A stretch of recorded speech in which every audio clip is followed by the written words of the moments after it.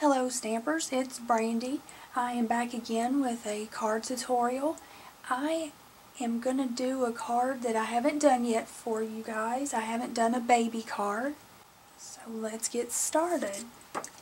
I have Whisper White, an A2 card, and I, I have this long ways. It's going to open like that. I am using the Tape It set. I am using the little chevron and the polka dot.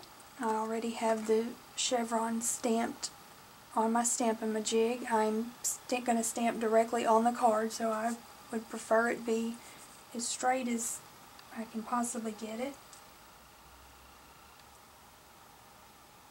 I am going to use Marina Mist. I now have the, the polka dot. I also have it stamped on my Stamp-A-Majig. I'm going to stamp this one in Pool Party.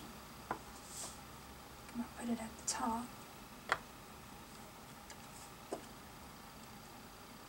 And now I'm going to use Soft Sky. I have now used the six-sided sampler set. I used this stripe.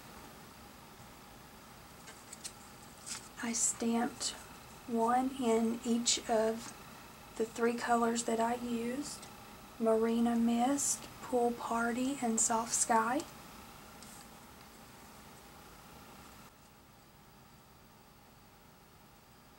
I think I'm going to do three more.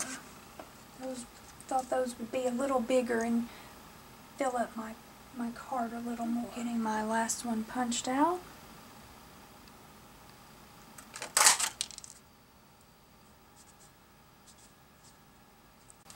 I'm going to use my Tombow. I then took a piece of scrap paper and I just used a Copic marker to write welcome baby. I'm going to cut that out with my smallest ovals framelit.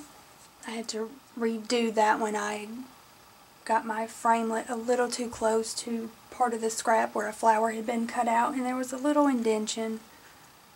Best laid plans, huh? I am now going to take a stamping a sponge that I've cut into fourths, bringing back in my soft sky. I'm just going to sponge around the edges of this.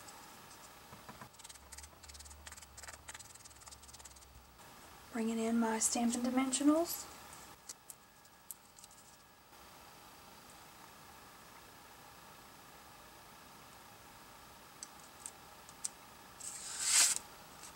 Thank you for tuning in for my card tutorial for a welcome baby card. Simple and cute.